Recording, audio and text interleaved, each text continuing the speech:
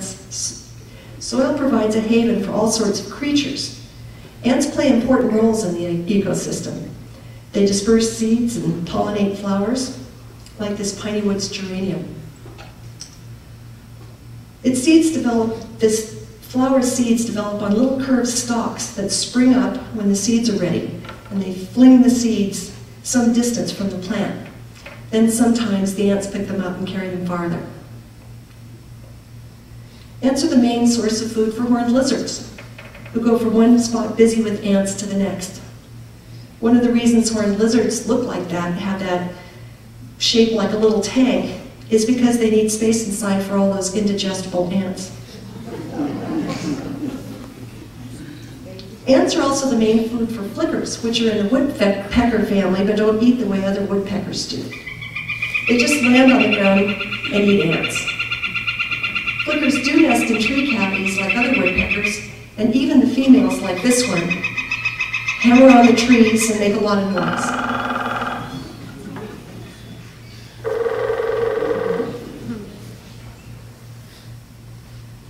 If you think about it, there are lots of animals that shelter in the ground, along with ants, like the prairie dogs who churn and aerate the soil of their little towns.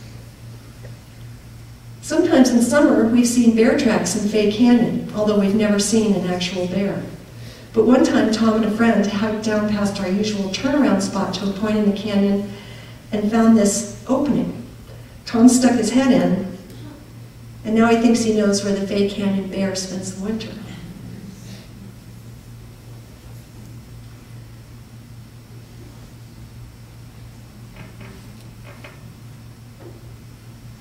Climate isn't a hidden mystery like the soil, but it can be pretty complex and mysterious in its own right.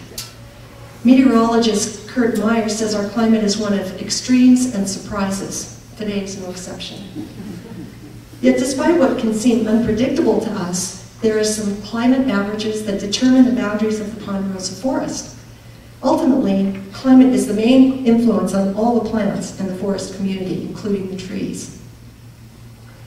Here in the southwest, ponderosa forests develop where there is between 17 and 22 inches of rain a year, rain and snow, generally between about 6,000 and 8,000 feet above sea level.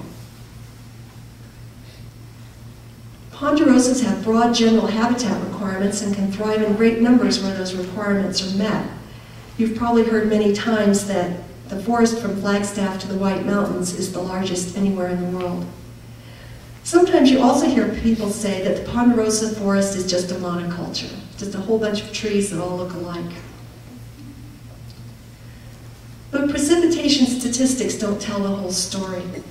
For one thing, there are many ways that moisture is lost in our dry and sunny climate. A tree or a plant can't always make the most of the moisture that falls because things happen to it.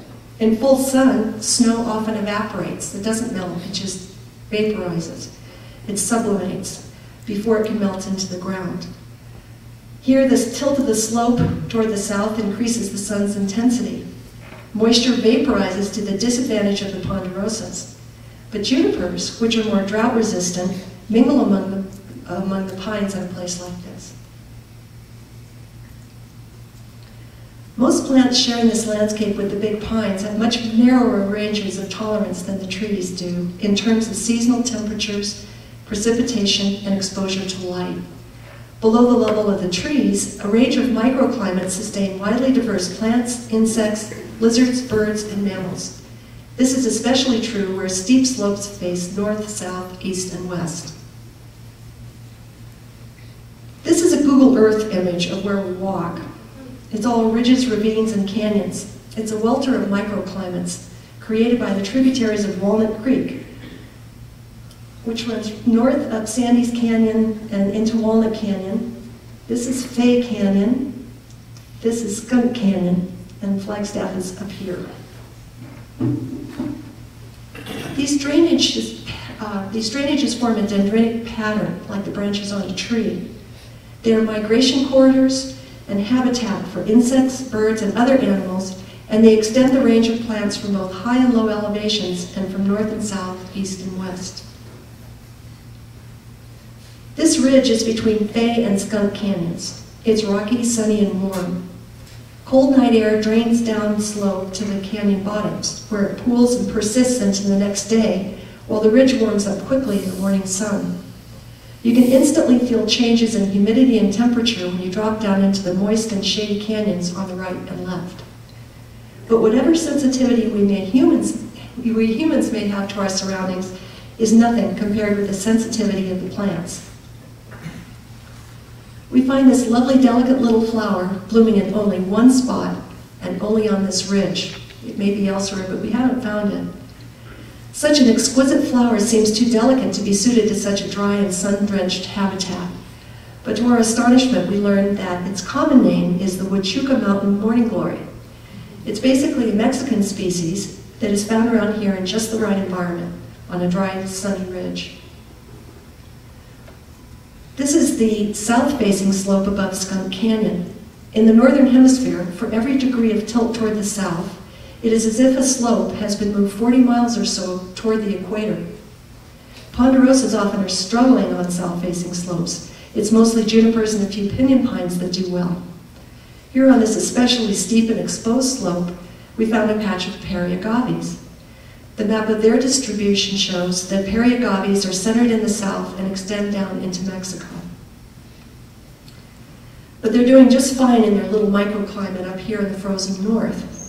We discovered them in full bloom on July 16, 15th, 2003.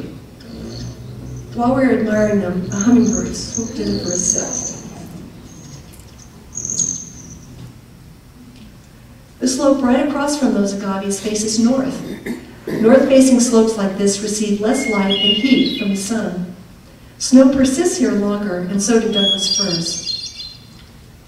Douglas firs are abundant in British Columbia and the Pacific Northwest, but are much more restricted the farther south you go. In other words, Douglas fir is a northern tree. This is another likely place to hear a hermit thrush. Douglas fir create wonderful, deep forest primeval dripping with lichen. You can always tell a Douglas fir by its distinctive cones. They look like little mice are hiding in them with their back legs and their tails hanging out. In such cool, shady places, we find woodland pine drops, which get so little sun that they can't photosynthesize enough food for themselves. Instead, they depend on a mycorrhizal association with neighboring tree roots. We find it so interesting that species from north and south overlap around here, each becoming established in the locations that are most like their homelands. The Douglas fir thrive on slopes facing north, while the agaves face their own community to the south. There's a sweet scent of damp earth right down on the bottom of Skunk Canyon. Many plants considered to be riparian plants grow there, such as wild grapes and dogwood.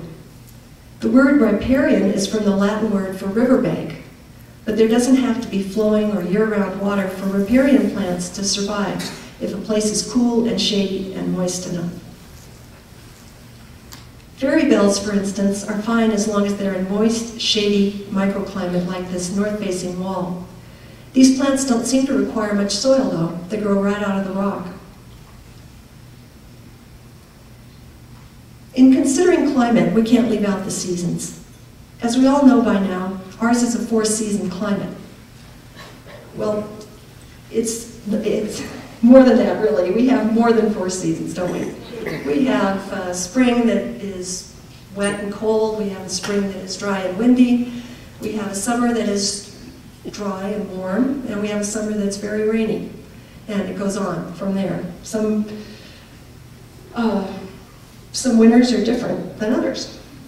Winter can be very dry, or we can have roof collapsing, road closing, snowfalls, as we did this year.